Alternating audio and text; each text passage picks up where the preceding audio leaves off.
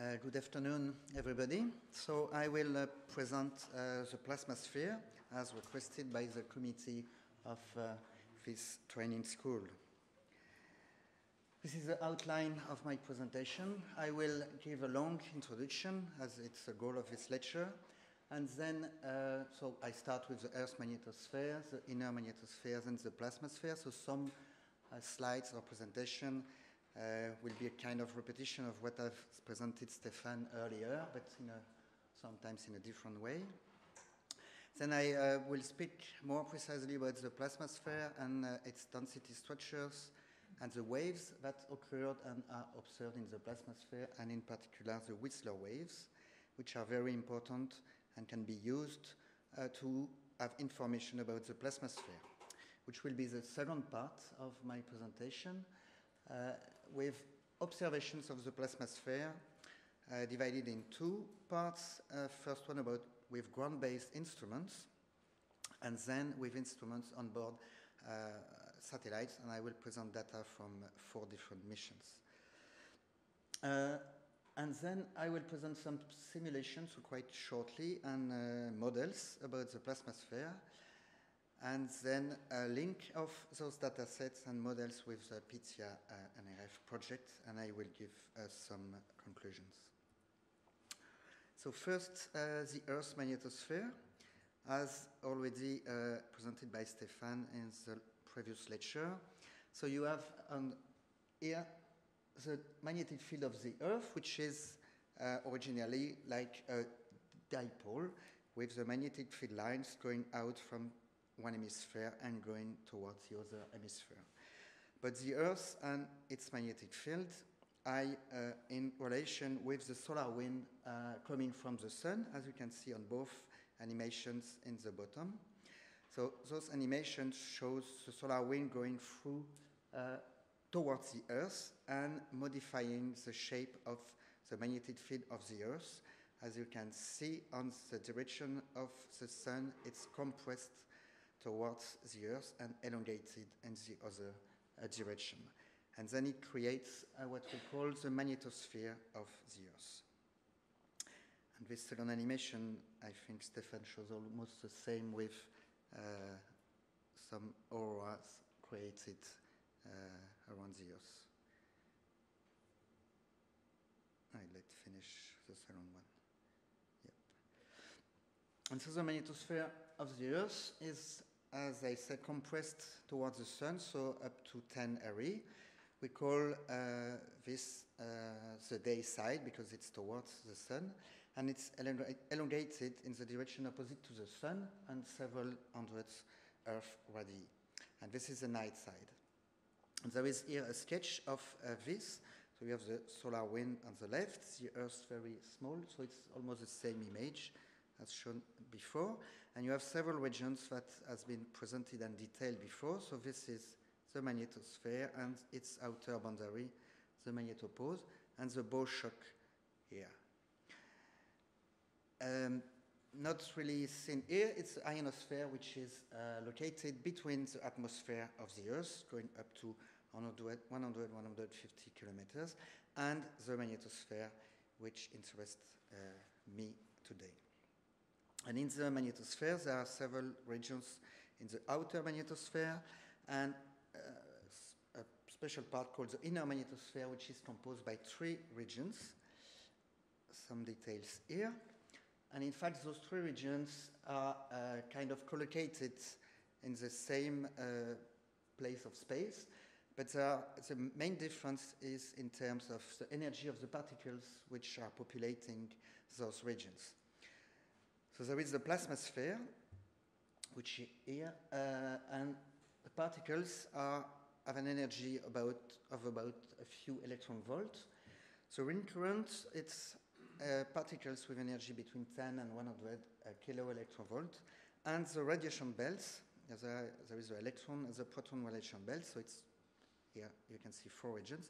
And the particles have an energy in the order of uh, mega electron volt or several hundred kilo electron volts those three regions, uh, some of them interact uh, between with them with another one, so the plasmasphere with the radiation belt. I will show some uh, results about that later. And also with the ionosphere, which is uh, below and towards the Earth and between the Earth and uh, in particular the plasmasphere. Those regions have uh, various dynamics. For example, the plasmasphere uh, is reacting much faster than the radiation belts, which are a bit more stable. And the density is an important parameter in those regions, uh, density of particles, of electrons, uh, and it defines also, here I define those regions with the energy, but the density is also an important parameter, and I will speak about that later. So the plasmasphere. Uh, so it's, it's a region which has a toroidal shape around the Earth. So it's like a donut that you can see this image here. And here you have another sketch with the Earth here. This is uh, some orbit of satellites and uh, um, a cut of the plasmasphere showing uh, is its shape. And its uh, distance from the Earth is at uh, between 10 20,000 kilometers. As it's quite close from the Earth, it's mainly it's more global motion, it's mainly in co-rotation with the Earth. Despite some particles inside have different motions, I will not speak about that during this presentation, but it's a global motion of the plasmasphere, which is uh, mainly in co-rotation.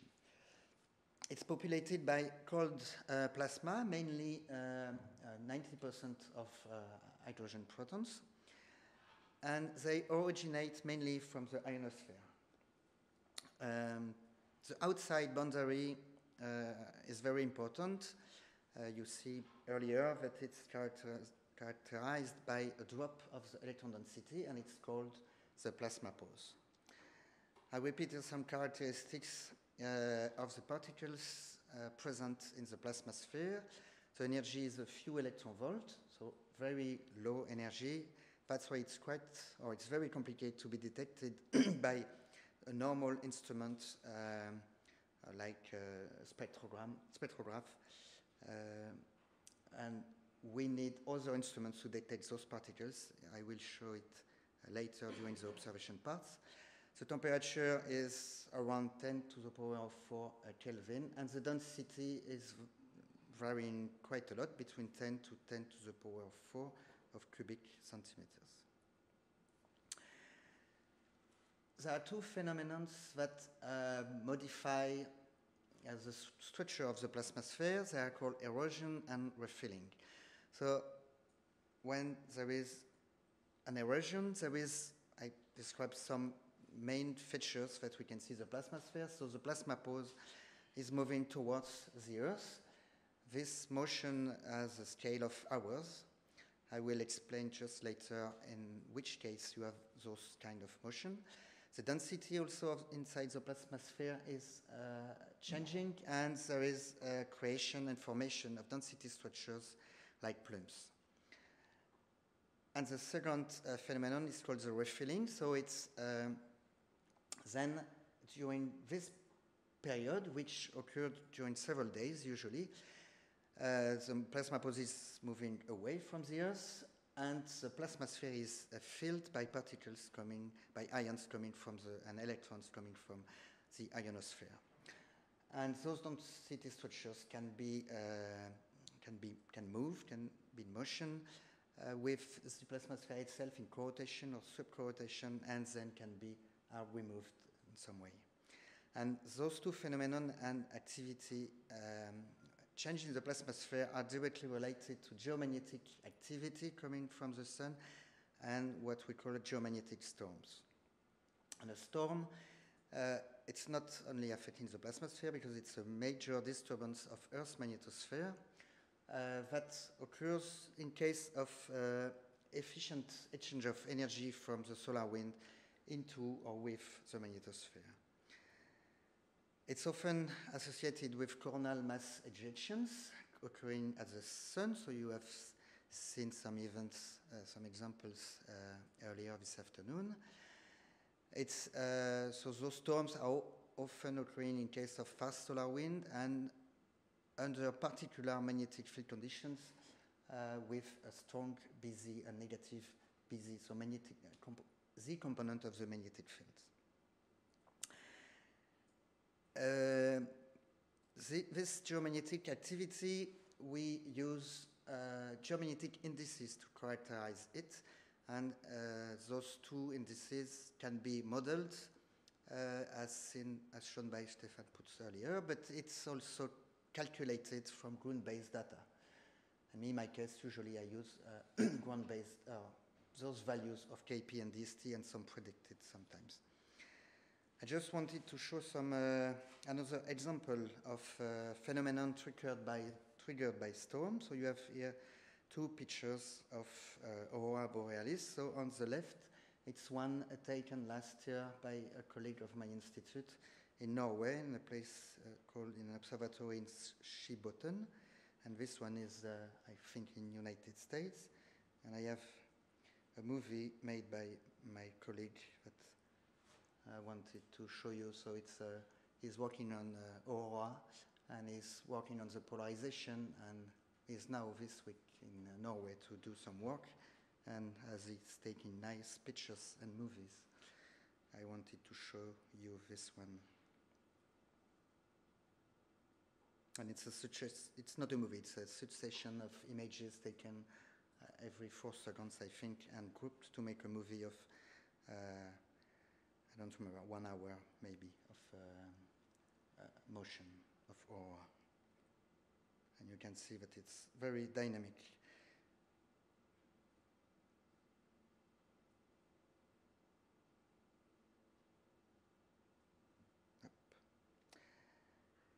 Now I'd like to introduce one parameter called L, called uh, the L parameter or the McIlwain parameter. It's, it's uh, appro approximately the geocentric distance uh, from the Earth, so it's uh, computed, or it's defined in Earth 4D. and uh, if you look at this uh, figure on the top, this uh, parameter describes a set of magnetic field lines, and here it's shown as a dipole because it's built on the dipole situation. and this it describes this set of uh, magnetic field lines which cross the magnetic equator here at a number of R4D, so 1.5, 2, 3, 4, 5, and this is the L value that uh, we uh, use to uh, study the plasmasphere. As I said before, there is a links between the plasmasphere and, uh, and the plasma pose and the radiation belt boundaries. And um, we have made several years ago a study of this link with using the cluster data. And on, on, this animation, you can see that the two regions are, as I said, collocated with the plasma sphere in purple and the two radiation belts in red. And this animation shows different uh, geomagnetic activity as shown by the arrow here. Just come back if I can. So this situation is during low activity. Oops, sorry. And you can see that the plasma pose is close to the outer boundary of the outer radiation belt, but when activity increases, there is a motion of this boundary towards the Earth, and you can see that it comes closer to the inner boundary of this outer uh, radiation belt. Now some words about the discovery and history of the plasma sphere. So it, it comes back to the late 40s when a UK scientist called Owen Storey, he uh, studied Whistler waves that I will uh, present uh, or explain what it is in a few minutes. And uh, from ground-based observations of Whistler, he uh, inferred the existence of a medium in near Earth space to explain some uh, strange, as I said, propagation of Whistler waves along the geomagnetic field lines. So there was something which uh, perturbed the propagation of Whistler. And about 10, 15 years later, a Russian scientist, uh, uh, used data uh, measured by uh, a spacecraft uh, which was dedicated to uh, study the moon, but on the way to the moon, there was some uh, data taken, and he um, could observe two facts. So a region of plasma density comparable to the one uh, identified by Storey, and also an unexpected fall off of this density. So here on the figure, so this is uh, with the dot, it's um, kind of, it's a, I know, it's some measurements. And then you can see that here you have one situation without fall off, and here the density falls quite quickly to uh, much lower density. So this is the density, and this is the geocentric distance of the L. And at about the same time, uh, in the United States, uh, Don Carpenter used data again from Whis Whistler ground-based receivers um, to identify uh, same kind of drop-off of the density. So this is observations of the Whistler. You will see some spectrograms later with the same shape of uh, uh, typical waves. And from that, it can, it can derive uh, the density. And on this plot here, so on the bottom plots, this is the density as a function of geocentric distance. And here you can see that there is no sharp uh, decrease. It's quite monotonous, the decrease of the density, but in this situation there is a sharp decrease, and he called it the knee, a knee, and uh, it's, uh, before it was called the plasma pose, it was a Carpenter knee. Just to finish the story, we had in Brussels at my institute a meeting, uh, a several days meeting in 2007, and we invited uh, Mr. Carpenter, who is there, uh, to present his historic, historical work, and he was still working in, in, with science at that time. And, uh, and then two years later, we edited and published a book on the Earth's plasmasphere with observations uh, from two missions that I will uh, present soon. Uh, in 2000, uh, NASA launched an, an, a mission dedicated to the plasmasphere called IMAGE. Uh, and this mission helped to de describe, present, and give names to density structures in the plasmasphere. So this is images of the plasmasphere taken by one instrument, and you can see different structures uh, and names. So maybe it's not really visible. Yeah. So this is called finger. So it's an hole in the in the global structure. Uh, here you have also another hole, but in a different shape. Uh, there is something called the shoulder, so there is just a decrease here. This is a plume. I will also speak about it. So it's an extension of the uh, plasmasphere. There is also the notch granulation. So it's different words describing density structures in the plasmasphere that have been uh, more defined uh, at the beginning of 2000s. Uh, Thanks to this first mission taking pictures of the plasmasphere. There are also uh, many waves, electromagnetic waves in the uh, magnetosphere, in particular in the plasmasphere. Uh, this sketch shows, again, the magnetosphere, so with the magnetopause, and the inner magnetosphere plasmasphere region with different waves called uh, HISS, uh, CHORUS, EMIC, it's electromagnetic ion cyclotron waves. Also some waves called magnetosonic and the Whistler waves, which are directly related to the plasmasphere discovery and studies. And now I will explain more in, in more details what is this what are those Whistler waves. So it's electromagnetic waves in the VLF frequency range uh, from 2 to 20, or about 2 to 20 kilohertz. And the human can hear sound between 20 hertz to 20 kilohertz. So in fact, if we uh, transpose this uh, wave into an acoustic signal, uh, it gives an impression of whistling, and I can, you can May 10th, 1996, hour 0, minute 16, Whistlers. You will see a, a background noise and sometimes something like a whistle. And this is, uh, oops, I'm lost.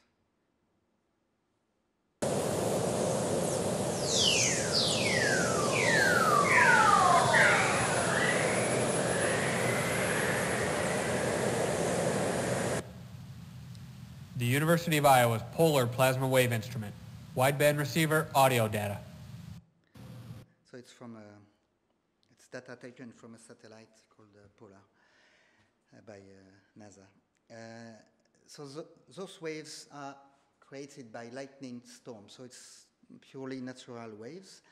And they create in one hemisphere and trans, uh, transform into sferics, and then they can propagate along the magnetic field line towards the other hemisphere. So like you can see here and going there. So if there is a lightning storm creating this Whistler in one hemisphere, we can detect at what we call the conjugate point of this um, of the magnetic field line along which it's uh, traveling. Uh, and during this way, it crosses the uh, equatorial uh, plasma sphere. That's why it's, in, it's interesting because we can uh, derive the electron density from each Whistler. We can have a value of the density along the field lines in the equatorial plane and in the plasma sphere. Because the propagation time depends on the plasma density along the path, uh, along the travel. May 10th, 1996, hour... Not again. Uh, I, I have a second sound so now some observations of Whistler. So we have in um, my institute uh, installed two antennas. The first one is uh, in Belgium, in Humain, which is uh, about 70 kilometers southeast from here. And this is the instrument here. So it's, there is a mast of uh, 12 meters uh, length installed uh, 13 years ago and on which we installed two perpendicular magnetic loops. So it's those cables which form two squares of 50 square meters in a perpendicular direction. And then there is a preamplifier to amplify the signal recorded by those uh, two antennas, and then a data logger to convert uh, into uh, digital uh, data, and then a computer to make the analysis. And this is the kind of result. So it's a spectrogram, time frequency spectrogram. So on this, on the horizontal axis, you have four seconds of data. You can see that we have very high resolution. And the frequency on the vertical axis from uh, 0 to 20 kilohertz. And the whistler that we try to detect in all this uh, data, it's this signal here. So this wave, which is uh, curved. And um, you can see that there is lots of noise. I will speak about that later. And what we can do with, uh, we can do several things with those uh, Whistler. Not only de derive the electron density, but also we can uh, determine the source region of those Whistlers because I told you that they travel along the magnetic field line. And so we can uh, use a network of lightning locator to find the lightnings at the origin of the whistlers because we have very accurate time uh, of those lightnings and the um, whistler. and then this is a statistical study. So the conjugate point in the southern hemisphere of our station in Belgium, it's south of South Africa. So this is uh, Cape Town is around here and Madagascar. And here on my mouse, it's exactly the conjugate point, or almost exactly. And then you can see that the lightnings come from around the conjugate point, but not exactly and uh, more to the east of this point, because there is also propagation in the ionosphere of those waves. We can do some statistical analysis. Uh, here during eight years uh, of data as a function of time on the left panel, and so it's just the number of Whistler detected by our antenna, and on the right as a function of months. and there is no, almost no whistler during uh, daytime, so from 8 to 15. It's uh, uh, explained by a link with the ionosphere and the propagation of those whistler, and less uh, or more whistler in spring and summer because there are more lightnings and thunderstorms in the southern hemisphere at this time of the year. So we have more whistler. Uh, more recently, so eight years ago, we have installed an antenna in Antarctica at the Belgian uh, station, uh, which is uh, in south, uh, so in Antarctica, but south of South Africa. It's not the same antenna because it would be difficult to install and maintain such antennas. So we, some colleagues from Hungary, built another type of instrument consisting in two search coils, which are in a waterproof box, and put. Uh, so this is the instrument on the left here, and put in this wooden box and with the cable for alimentation, everything. We installed this in antenna because we wanted a clean electromagnetic environment because our signal is uh, strongly uh, perturbed and polluted by many uh, things. And we need power on internet, uh, so it's better to be at, a, at a, in a station. And the latitude is not so good, but uh, it's, it's almost good because uh, we are at about 5, L equal 5, and uh, we can detect Whistler at this uh, magnetic latitude. So this is the same kind of, of plots.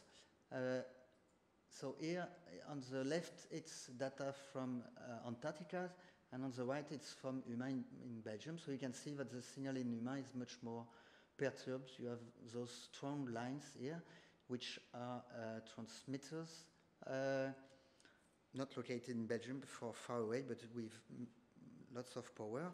And those uh, signals uh, might be some, uh, I'm sorry, um, communication, submarine communications. So we have this all the time. So it, our signal is much, much more clean in Antarctica. We observe also some chorus. I told, explain you that there are many waves uh, in the in the plasmasphere, and we can detect also those chorus from the ground. So instead of a, uh, a small shape like this, it's it's a long, um, it's a large, um, large frequency, defined frequency band, but during a longer time. So here you have uh, several seconds, and it could be uh, 10 seconds, 20, and it's also in the same frequency band, so we can also convert into uh, audio waves. Maybe the sound was too strong. So you can hear, and it will be May 31st,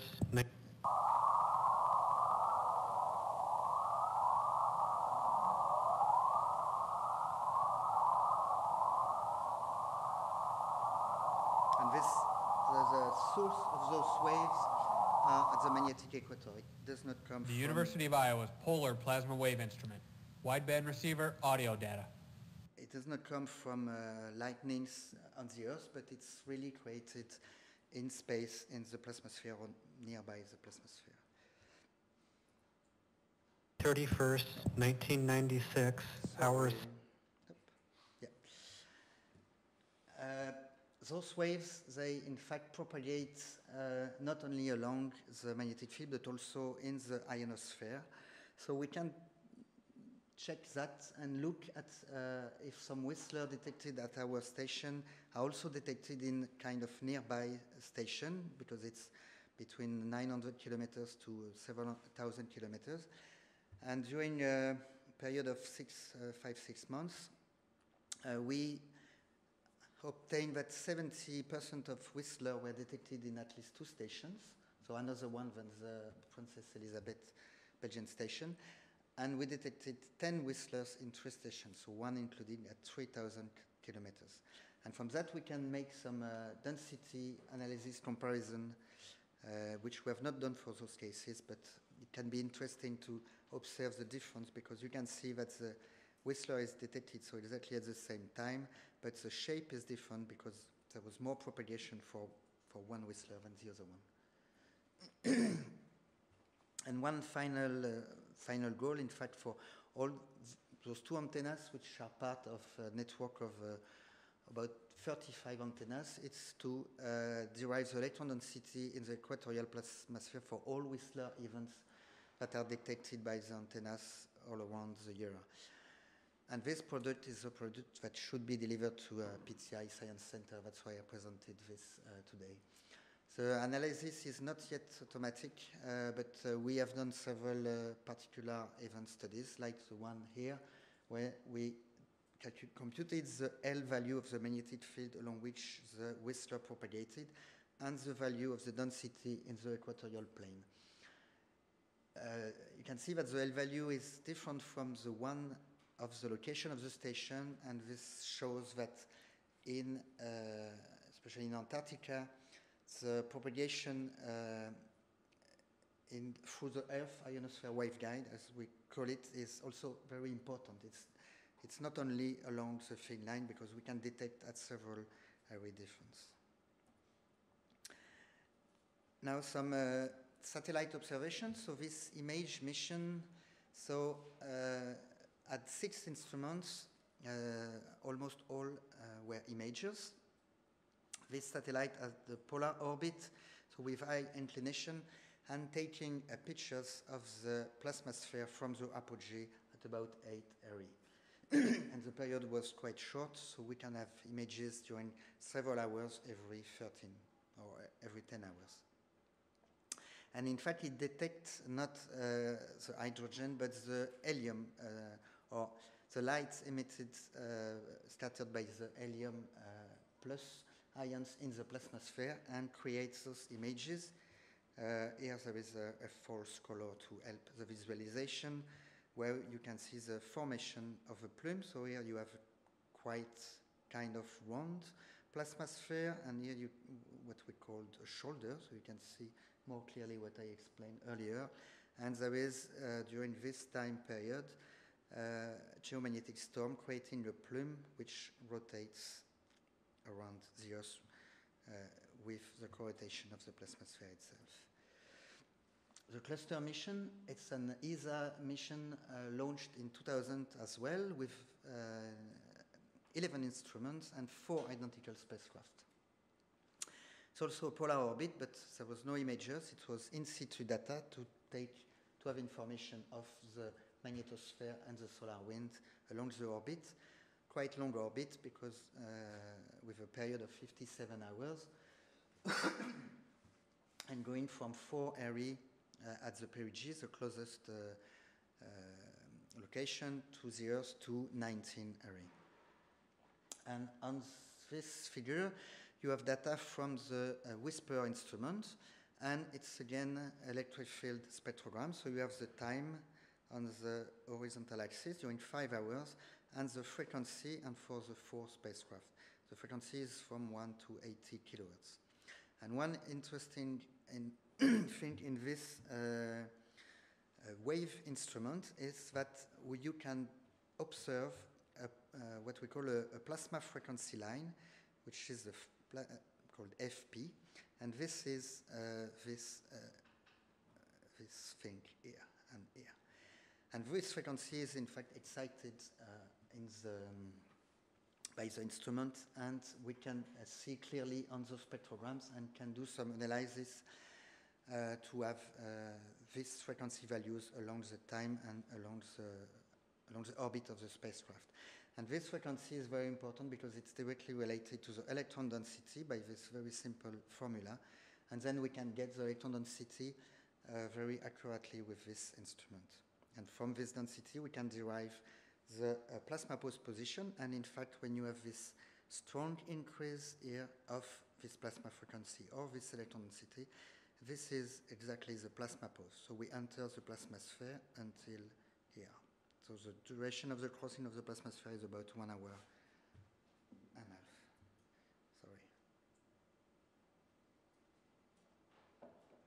Sorry. and from this density, we can do some uh, analysis of plasmapause position as a function of geomagnetic activity. So those two index indices I introduced earlier, and compare it with models, because there are some models defining the plasmapause position, which is called here uh, LPP. So there are three models here that we used, and uh, on those two plots on the left, it's the model related, the two models related to the DST index, varying here as a function of time during two, hour, two years of data. So it's from April 2007 to April 2009. And on the right is the KP index and uh, during the same time period, and on the bottom it's the LPP position. So in red, it's the one that we derive from the instrument, and in blue and black, it's from the models. And you can see differences uh, with the plasmapause observed at higher L than models. It's mainly due to uh, the limit of the frequency of our instrument, uh, which limits the, the, maximum value of the density that we can detect. but it's maybe not so easy to see here because the plots are quite small, but the variations with the DST and KP are very well recovered. So when you have an increase of KP, uh, you can clearly see that the plasmapause is closer to the Earth from the model and from the observations. A more recent uh, mission uh, from NASA called Van Allen Probes or RBSP, Radiation Belt Solar. No, I don't remember. It's radi Radiation Belt Probes. I don't remember the yes. Uh, it was two satellites launched in 2012 with uh, five big instruments. Uh, the main difference is the orbit of the satellites. Uh, they were very low inclination, so almost staying in the equatorial plane. So they were crossing the plasmasphere and they were staying crossing the plasmasphere in the equatorial plane instead of the two preceding previous missions. And the orbit was quite short, so we can have a cross, crossing of the plasmasphere every nine hours.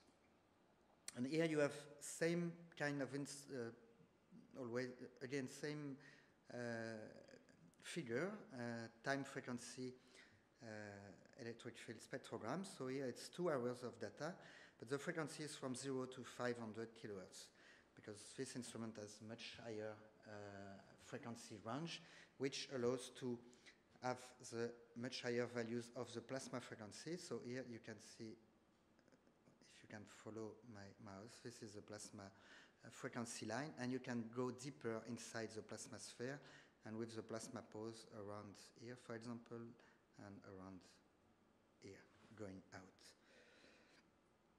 And we can derive the electron density again from this uh, plasma frequency or for another resonance frequency called uh, upper hybrid frequency. Those eight uh, plots are different uh, plasmapause crossing by RBSP during several different days and to show the very different shapes of this plasmapause. Uh, for example, uh, on E and F, you can see here a very short and very well-defined plasmapause, while in this case there are lots of density structures and plumes due probably to geomagnetic activity.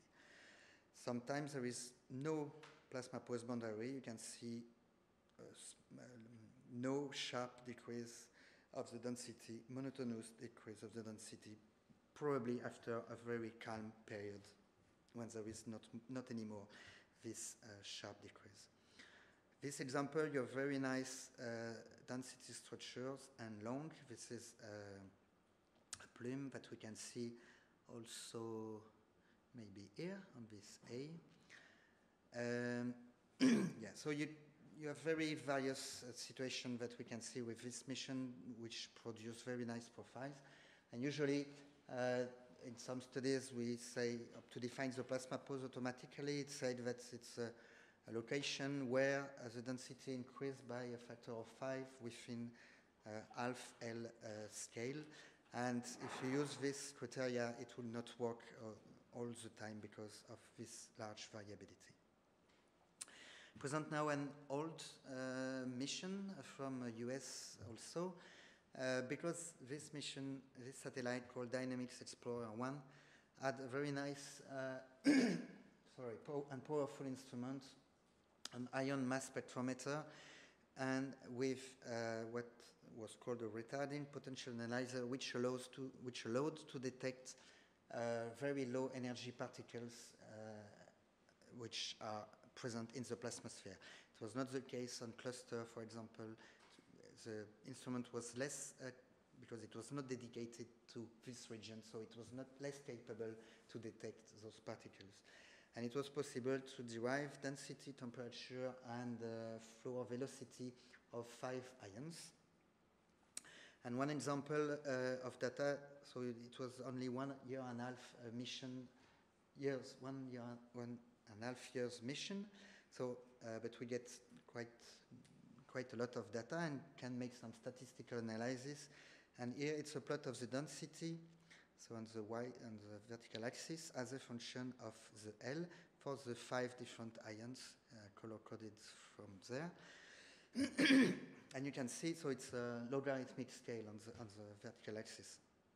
And uh, you can uh, derive the density ratio in the plasma sphere and showing that, uh, for example, at L equal 2, 90% of the plasma sphere is uh, hydrogen particles and 9% helium.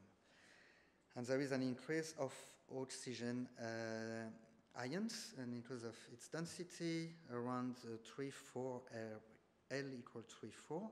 And this is what we call uh, oxygen torus. Just, I don't, yeah.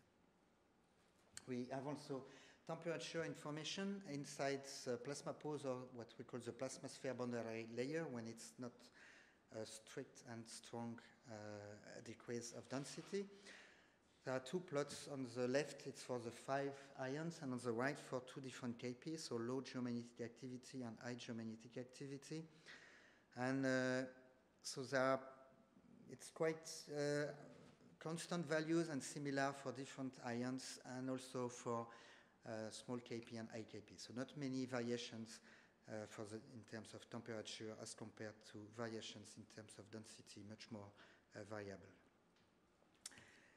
Now some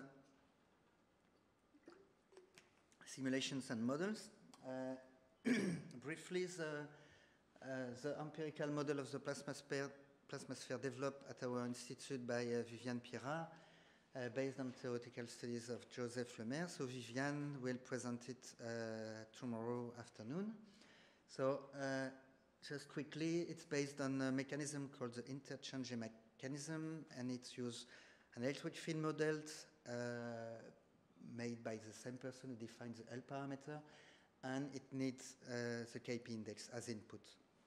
And on this animation, which start now, you have two views of the plasma sphere density in the plasma sphere, equatorial plane here and meridional plane here, and you don't see much variations because this event was in case of quite low and not very too much Kp, but you can see some structures and shoulder rotating, for example, uh, and some variations in the meridional, meridional plane.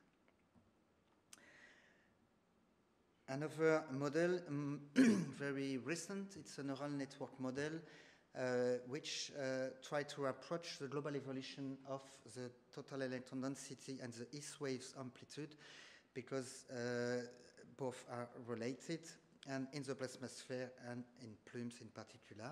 And they train uh, their, their, neural network model with uh, density and waves data from the EMFISIS uh, instrument that you have seen some results uh, earlier on board the RBSP satellites.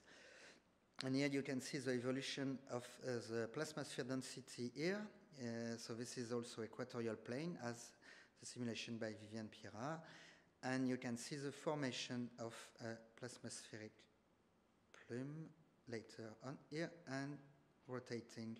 And also there are some hiss waves in this plume, which is a quite interesting uh, result. And on the right, bottom right, it's some chorus wave uh, intensity, not really amplitude. Uh, and on the top, it was the evolution of the indices. So the, it's different than indices. It was a KP on the top, uh, which goes from 0 to 9. I forgot to say that. So the KP was quite high here. No, up to 4 and 5.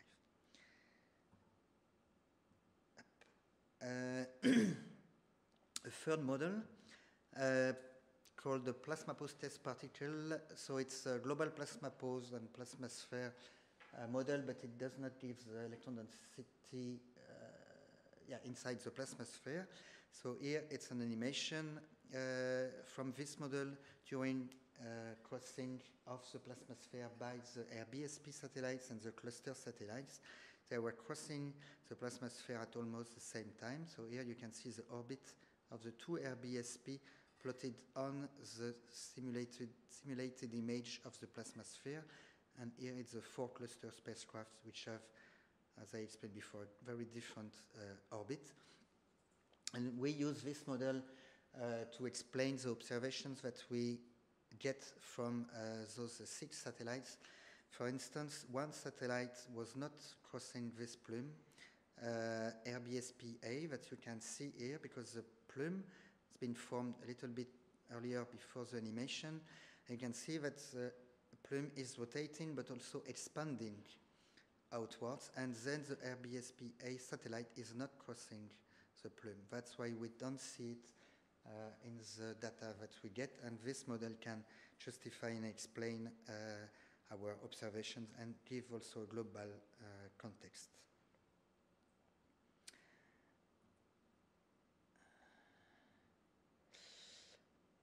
So now the, quickly the relation with uh, PITHIA uh, NRF project. So uh, some of the data and models described in these presentations are available on the PITHIA NRF eScience Center. Uh, you will see uh, some examples during this week.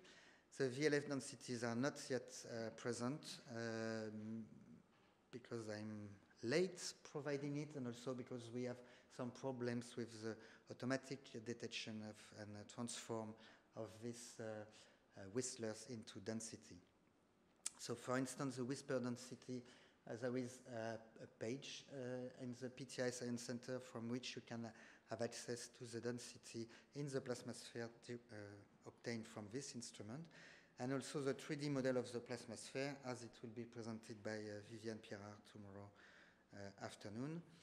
you can note also that the KP in this, in this is, uh, are also available through the PITHIA uh, eScience Center, as well, of, as well as other indices which are also useful for the plasmasphere. The AP index is sometimes also used uh, for plasmaspheric studies.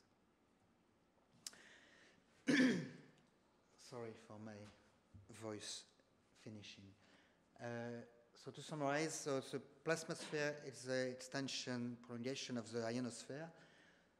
Uh, its position and density structures uh, depend on geomagnetic activity, and it's really related also to the presence or absence of waves and to the propagation are very linked to the electron density of the plasmapause and at the, in the plasmasphere. The dynamics and evolution of the plasmasphere uh, can be studied with ground-based and satellite observations, but also with uh, models.